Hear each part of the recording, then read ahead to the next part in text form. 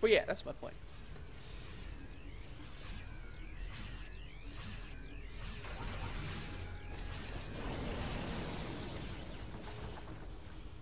And yeah, so the game's over. But coming from the Terran's point of view, did pretty well. Uh, he put a little, tiny little bit too many turrets down. I I think he did a little bit over overdid that. He's got a lot of minerals now.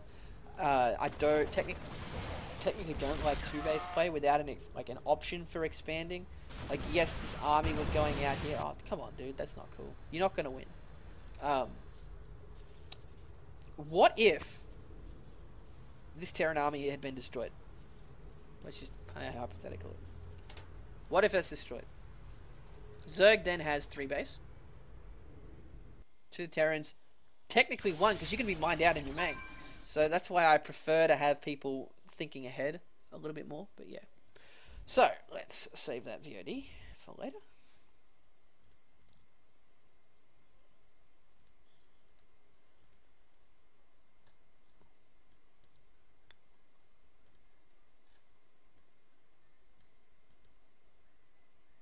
Holy crap. You know what I just realized? I figured out why my thing crashed. Where the hell's my D drive? The fuck? It's the one drive, it's not separate drive, it's just partitioned. What the hell? It's got all my movies and stuff on it, that ain't cool. That game it far out.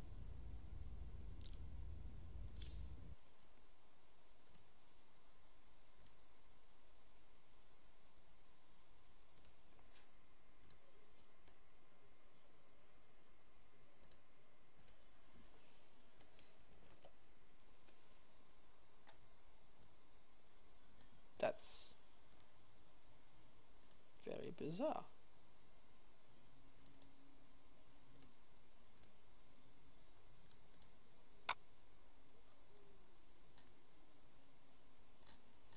Okay, we're gonna have to look into that. But anyway.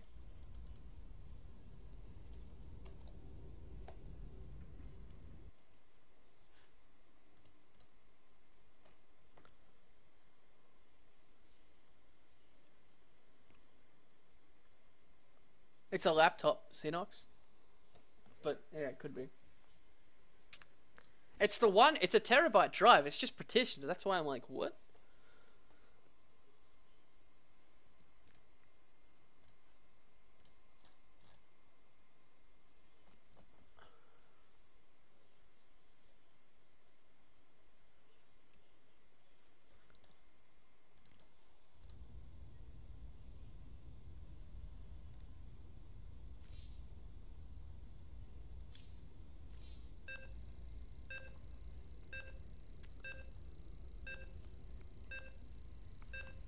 Oh, all right. I need to look and see what the, how the brackets have progressed here.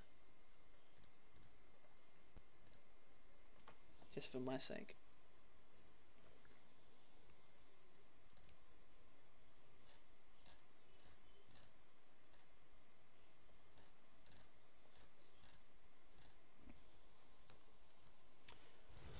Alright, because we had a Z versus random, we're going to have a ZVZ coming up. We'll get into that in a sec once I uh, have a look at these brackets. Because nothing happens in the early game unless it's six pooling, which neither of them is.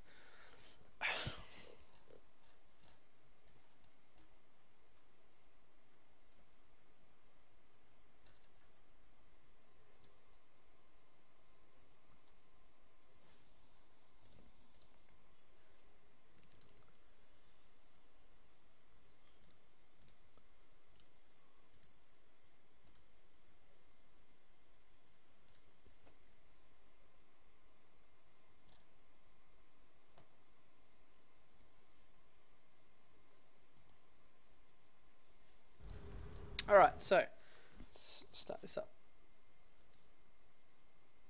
Welcome back to the Bronze, Silver, and Gold tournament, everyone. Brought to us by SC2C.com. I am Unstable, and it's going to be a bit of a different kind of commentary this time. It's going to be more tips and tricks, the, the general thought process behind trying to get better as a player rather than pure game casting like normal. We are going to have ZVZ coming up, and looks by the looks of it, both players have not made any major decisions in their game yet. The first real major decision in ZVZ is are you going to hatch first or are you going to pool first? Looks like both of them are going to pool first. With gases on it for Stingray. No gas for Jono, so... Oh no, there we go. this opening is very, very standard for your Speedling, Baneling opening. It can also be standard for your Roach opening, but something you'll notice as you go up the higher tiers, the Roaches will have a little bit of a delayed gas because you keep those three drones on the mineral line to get that extra 150 minerals or get there a little bit quicker so you can drop the Roach Warren. Now, when you're thinking like that, it's only 25 gas per Roach, so one geyser can pretty much saturate one entire base of just constant roach production. So you don't need it there early to get that little bit of extra kick out of it. But hey. Time is? Oh wow, it's only 8.30. It seems so much later. So yeah, hey, look at that. We do have roaches coming out for one player. And do we have a Baneling Nest? No, we do have... Don't have speed yet either. What are you doing? What are you doing? What are you doing? What are you doing? There we go. There's speed. For one, we got roaches for the other. Now, when you're doing this kind of uh, matchup, you have a timing window of before he has enough roaches to stop your lings and banelings. But no, it looks like he's going ling speed and roach warren. I personally don't like mixing the two strategies. Later on, yeah, when you have like ling run bys and like max 200 200 armies and things like that, yeah, that's fine. But that's an extra 100 minerals and 100 gas that you might be using at otherwise.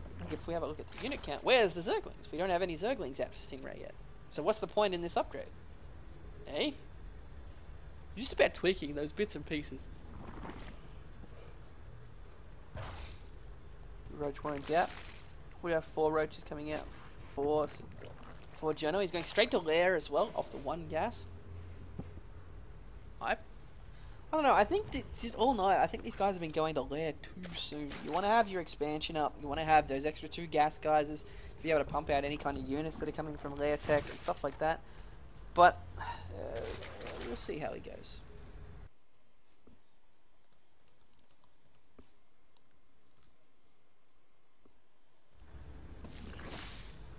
Yeah, both of them going for lair. You have five roaches coming across here for Stingray, whereas the four are Jono's, but Jono does have extra ones coming up. The prob the biggest problem with Roach Wars is it's all about timing and positioning. It's kind of like Tank Wars, really. Uh, so, for example, we we have all these roaches being strewn across by Stingray, which did come out first compared to Jono's, but hey, look at that. By the time they get over there, it's five roaches versus like eight or nine, and there is no way that Stingray is going to be able to do much with those. He has extra lings coming across, which is nice, but on the other hand, Jono just has pure roaches coming across. If we have a look at the unit count, we have 8 versus 5 and 10 lings as well for Stingray. The lings actually might do fairly well, but the problem with this is right here, look, he's got two units covered at the back. He's just going to be able to kite these around. All he wants is a lot more roaches than there are there, uh, for Jono as well. Which is why in Roach Wars, you, you want to be focusing more on positioning and, and Roach count and uh, reinforcement timing than anything else. So, I think those Lings, bit too over ambitious. Like, there could have been a lot more Roaches, or even an expansion that he could have had. He's getting double Evo Chamber off one base. Okay, off one base, man, no. Double Evo Chamber and a lair and stuff, you want two bases for. You want you want all those extras. These guys got lairs, but they haven't actually used it. Like, so, what's the point in that?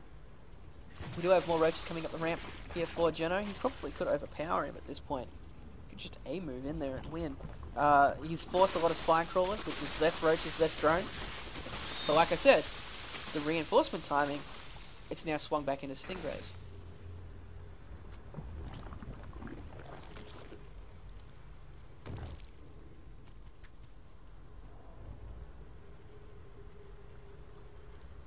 We do have a Spire coming out now for Jono. So, earlier on in the night, for those of you who have been with me the whole night, I was talking about the one base fast lair. It's either a roach timing with speed, like a lot of roaches, or a spire for for um, Utas. Now, Stingray's gotten a bit. Stingray's gotten a bit um a bit lucky here because he does have those Evo chambers out. Now, the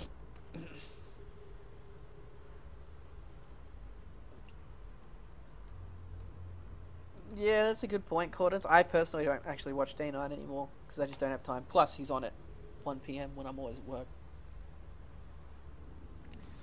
But when you make an expansion in ZVZ, people get in their head. They're like, "Oh my god, I just wasted three, or not wasted, but I just spent 300 minerals, and now I'm behind until I get units out of it." Well, keep in mind, he still has to send units across from his base, so technically you're still dead even. You don't have the defender's advantage as much, so you need to be on the ball, but still, you do have something in, in the advantage. And now Jono is going to defend this off because he has enough roaches to do it. He's got a nice concave. His expansion's up. We got a lot of speedlings coming across.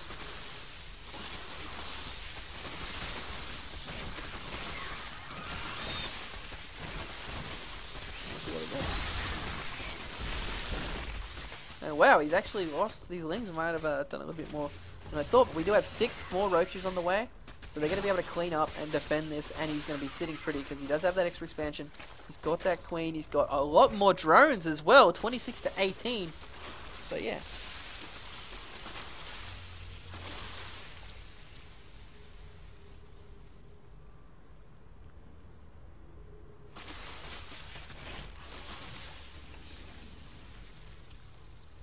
Who wins in a Roach Hydra versus Mutaling? That's completely dependent on war, how things are used. So you can't really straight up say that. You're more often going to have something along the lines of Muta Baneling versus Roach Hydra. But yeah.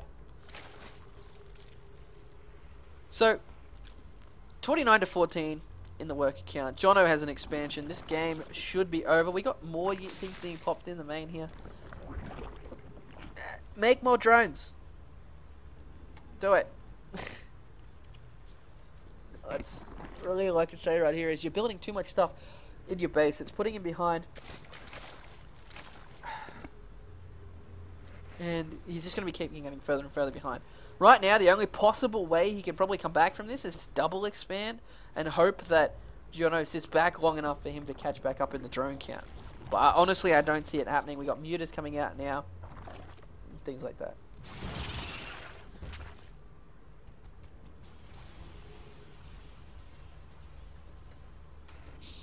He's also getting Overlords picked off, and Overseer goes down. Two Overlords are going down. That is going to supply cap him pretty much.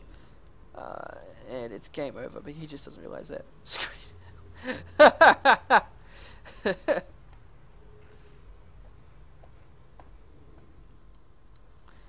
You're missing an overlord. You can see it too. Kill it.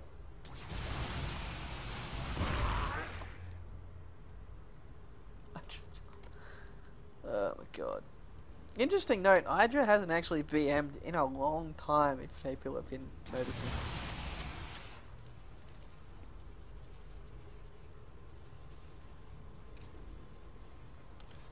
So we're 30 to 19. Right now, if I were Jono, I'd realize he's still in one base, and I'd just be like, okay, I'll take a third expansion and saturate all three bases right now, because there's nothing you can really do about it. Got a lot of roaches, a lot of hydras coming in now. He's gonna finish it up.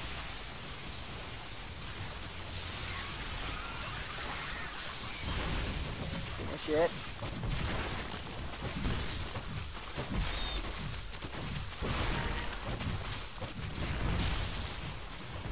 That is gonna be a GG.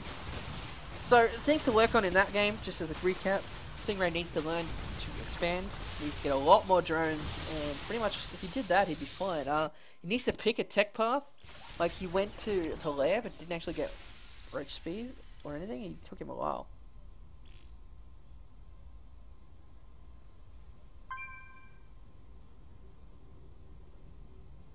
So...